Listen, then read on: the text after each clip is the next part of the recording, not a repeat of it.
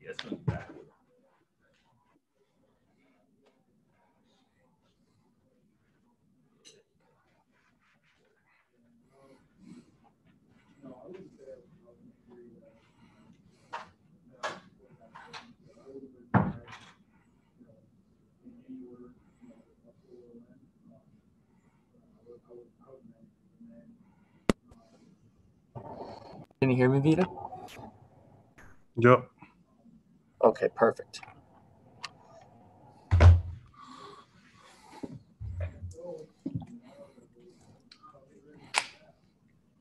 All right, if you're ready, we'll go ahead and get started.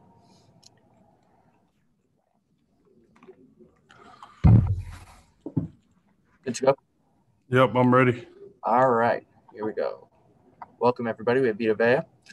Our first question today will come from Amber Billups with the Dallas Morning News.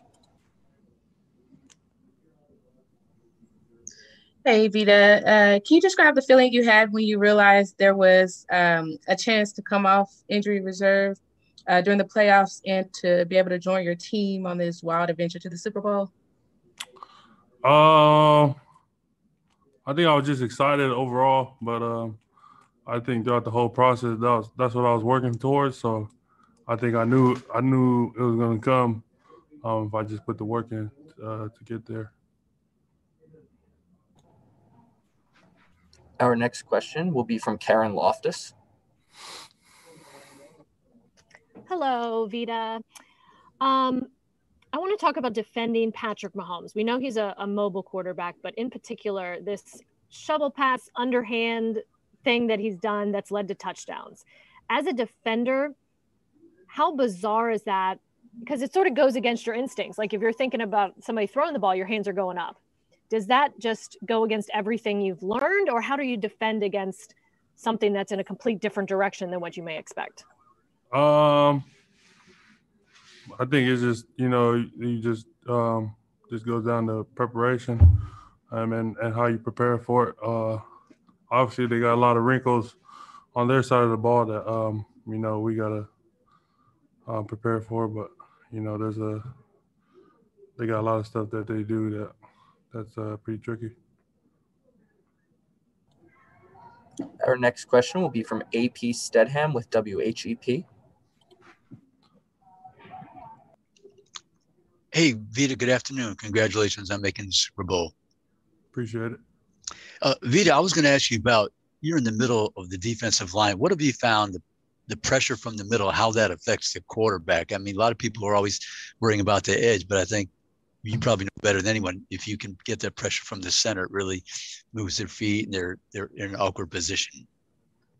Uh, shoot, I think we just got we got two outstanding guys on the outside um, that you know um, could really rush the passer, and uh, um, I don't think I do much in in the middle. I think I just you know try to do my job and uh, you know try to do what uh, I'm coached to do, and uh, I think you know we work well together up front. Um, uh, you know, I think we we just we spent a lot of time in the off season, you know, working out together and hanging out together um, over the years. So you know, we we grew uh, chemistry between all of us. So I think um, you know we just we work really work well together.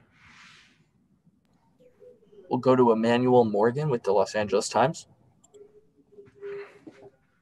Hey, Vita. Um, the Chargers played the uh, Chiefs pretty competitively uh, uh, earlier in the season, and they, they only rushed four. Um, how important is it for you guys to uh, kind of get pressure uh, with just the, the D line and not having a uh, uh, blitz? You said that question again? So the Chargers played the uh, Chiefs competitively um, earlier, and they only sent uh, four most of the time. How important is it to get four uh, to the quarterback and not have to bring extra guys?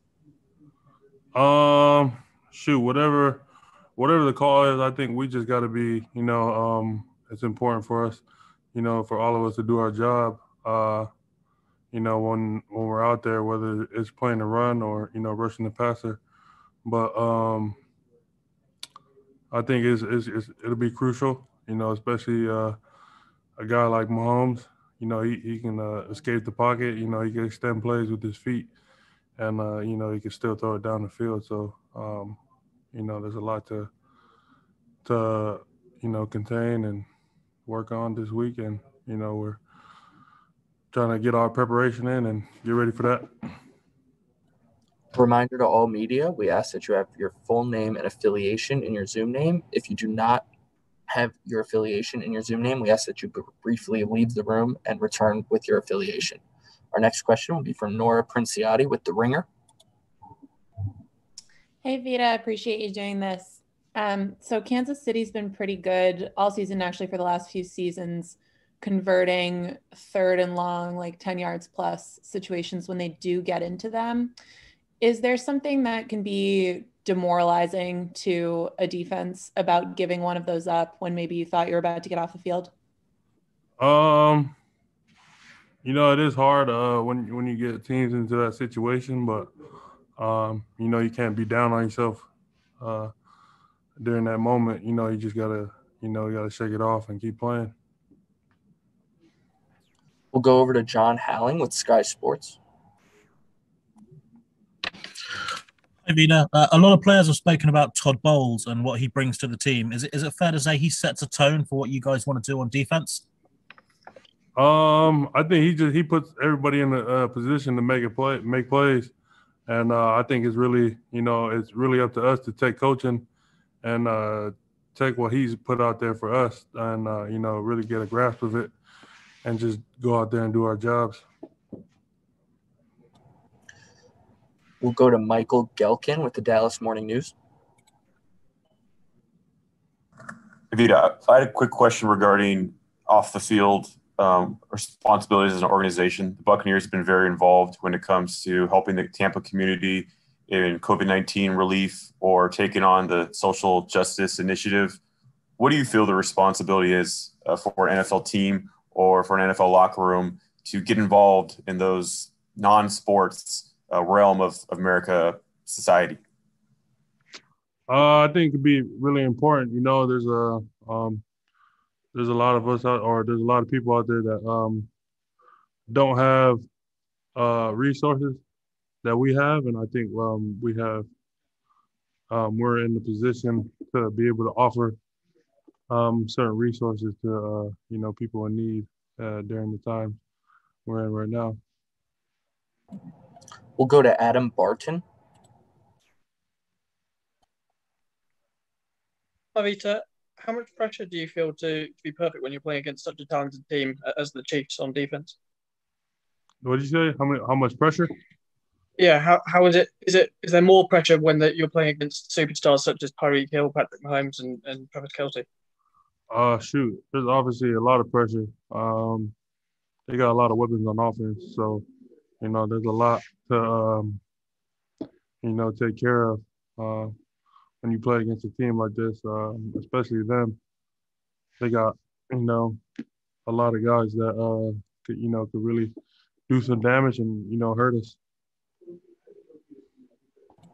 Our next question will be from Jonathan Adams. Hey, good afternoon, Vita. Um, we kind of live in a fantasy football era where we're drawn to maybe like the receivers and tight ends and running backs. I'm curious if you could walk the casual fan into what it is you do in the middle of the field that unlocks guys like Shaq Barrett, JPP, Devin White, those guys to, to get to the quarterback. Then a quick follow up. Do you see yourself playing about the same number of snaps in the Super Bowl as you did in the NFC Championship? Uh, first of all, shoot, I don't do anything to free them up. They that's all them. Um, you know, they they got to rush the passer too. So that's whatever they do to get to the quarterback. I think that's that's that's that's that's a credit to them, not me. Um, you know, we're all out there doing our job. So um, I think whoever gets to the to the passer is a is a good job on them. And uh, I'm not sure.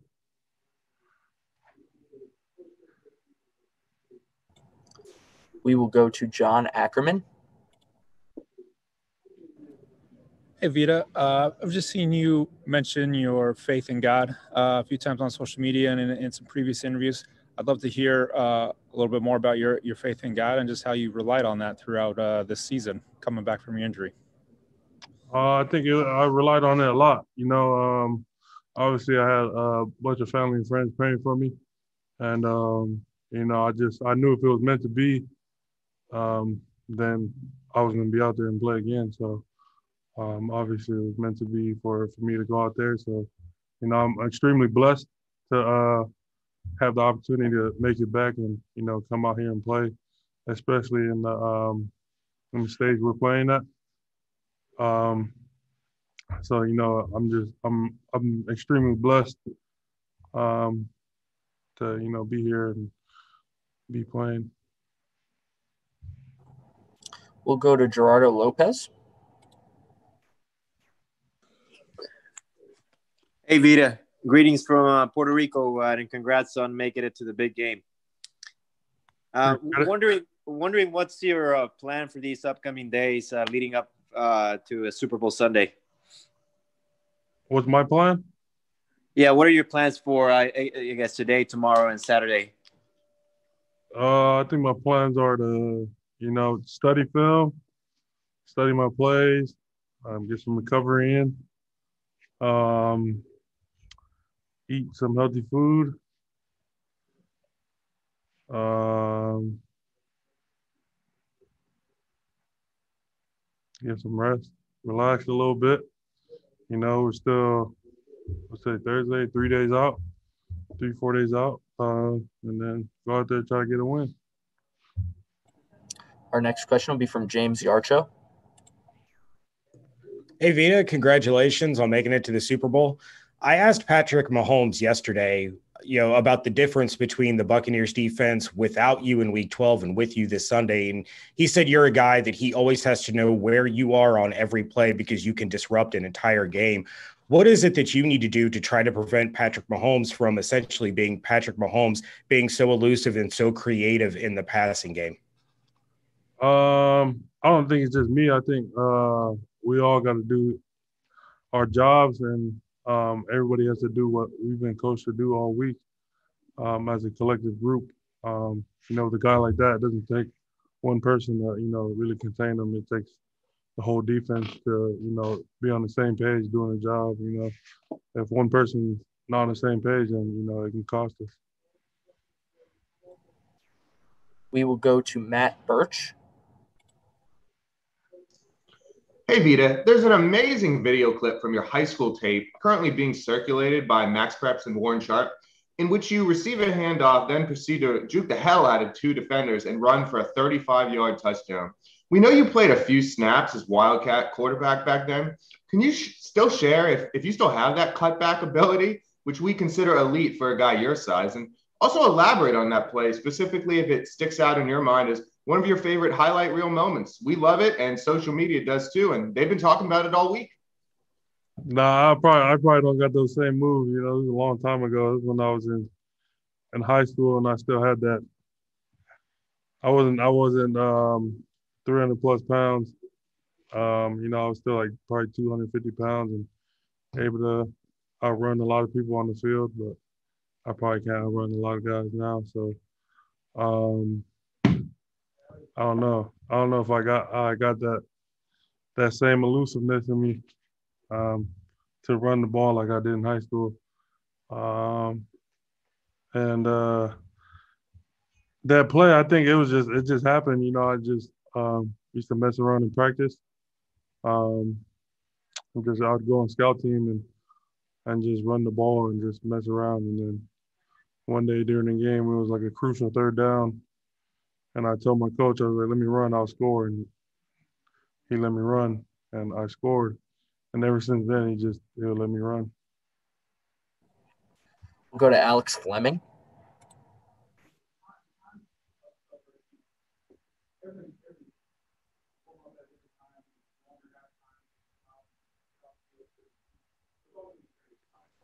Alex?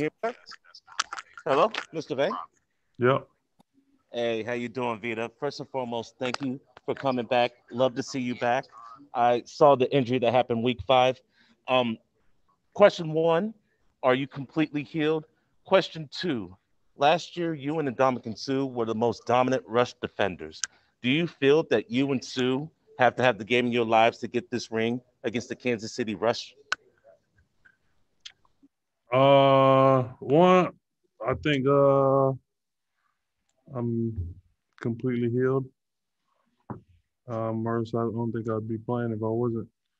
Um, two, um, I think me and Suh got to be on top of our game, and then uh, not only us, I think everybody else on our side of the ball, you know, has to be um, dominant. Um, not only me and Suh, the rest of our D line, you know, they do a hell of a job of, you know, playing the, playing the run and uh, getting after the passer. We'll go to Shelby Allen. Uh, hi, Vita. Um, I I know a lot of teams around the league, like the Bucs, have uh, two unique running backs uh, to kind of shake the other team. How hard is it going against a team with three distinct, almost starter level running backs in their backfield? Shoot, it's really hard um, to do to to face teams like that. You know, normally you uh, you see teams like you said that you know just have one running back that uh you know that you have to really game plan against. And um, you know, when you play a team like Kansas City and they have three of them, um, that's when it gets really hard for us. Um, basically, because there's three different, you know, running backs that you have to study, and um, three different running backs you have to play against.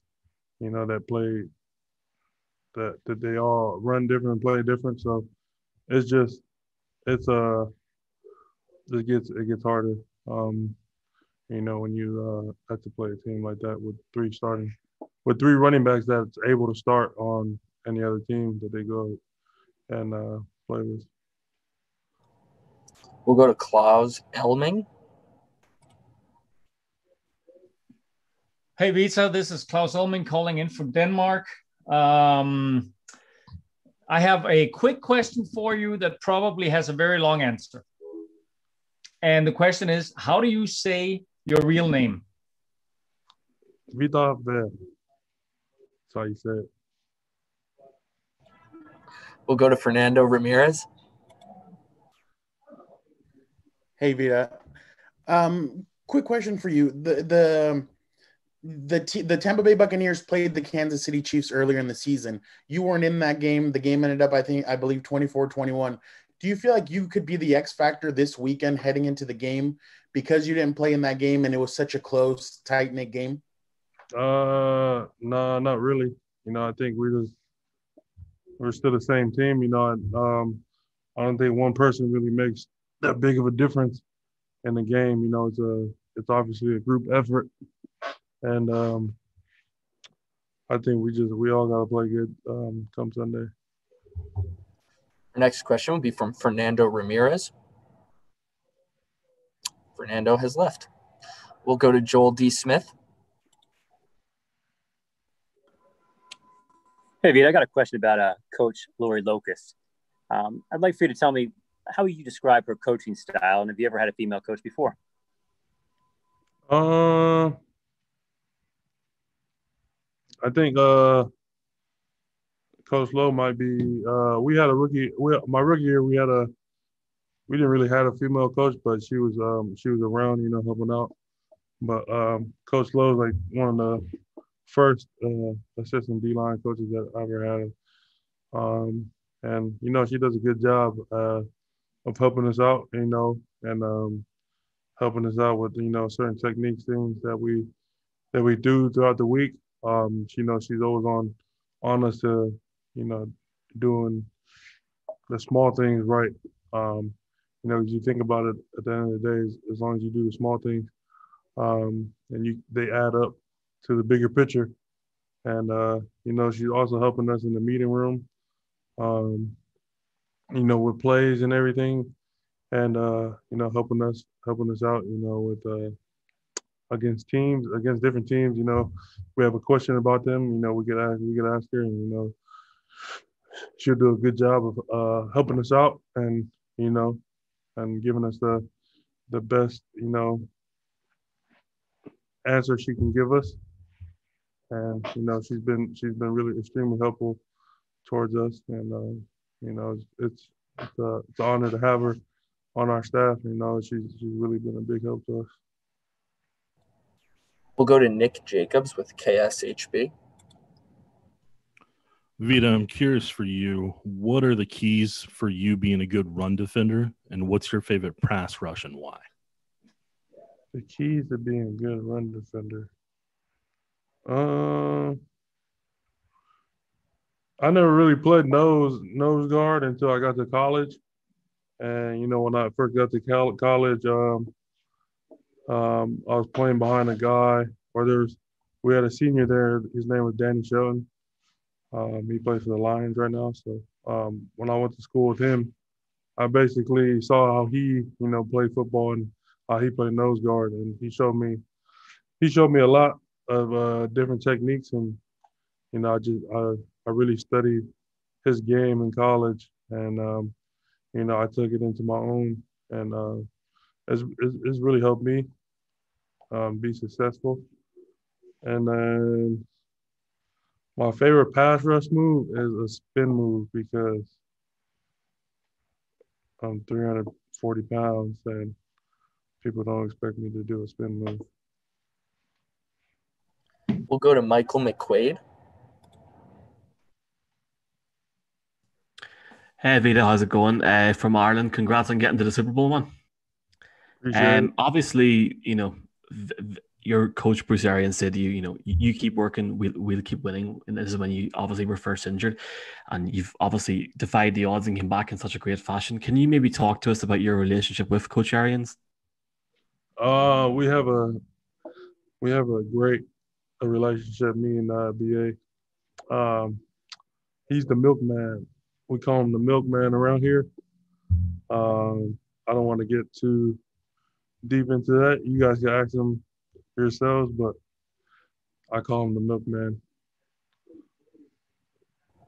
We'll go to Josh Allen. Hey Vita, how are we doing today? Doing good. How you doing? I'm doing great, man. How difficult of a road was it to kind of get back to where you are now? And if you had to put a, a percentage on your health uh, going into the game last week and this week uh, into the Super Bowl, what would you put that at? Uh, hundred percent. I'd say I'm hundred percent. Um, or else if I wasn't hundred percent, I don't think I'd be playing. Um, so yeah. We have time for a few more. We'll go to Cherie Cruz. Hey Vita, thanks for the time. Um, I was hearing that last week you're mentioning when you were injured, you had a different perspective of the game not being on the sideline. I was wondering what that was and how you're able to uh, bring that to the team with the Super Bowl on the line. What was that? I had a different what? You said you had a you got a different perspective of the game when you were injured and out, and just being able to watch, not from the sideline. I was wondering uh, what that perspective was that you saw differently from when you were injured and just watching. Uh, I think it's just different. You know, you, you never want to be um, on the hurt um, on the sidelines watching. Um, so you know, when you do, you but you you're just you're you're sitting there watching the game on TV or or in the suite, and you're just it's just you're not used to it um because normally you're um you're out there playing. So you just notice a lot of uh you notice the bigger picture um with the defense and you just see more than what you just what you see from just um, you know being out there and just playing. Basically, how you basically like you're just watching film or watching any other game. We will go to Antonio Valverde.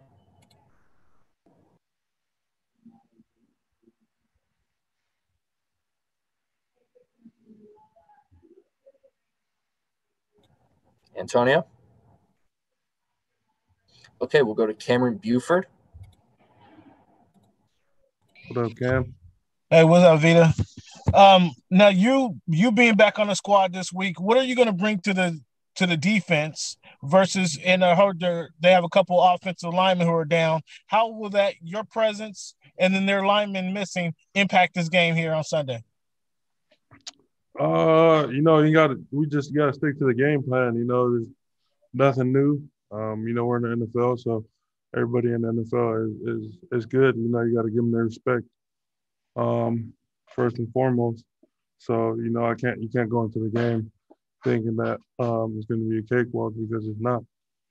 Um, you know, they got the. I don't. I don't think it matters that they have three linemen out. I think whoever replaces them is going to be just as good and you know just as effective.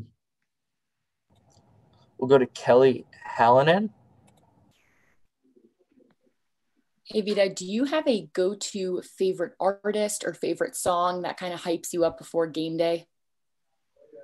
I do.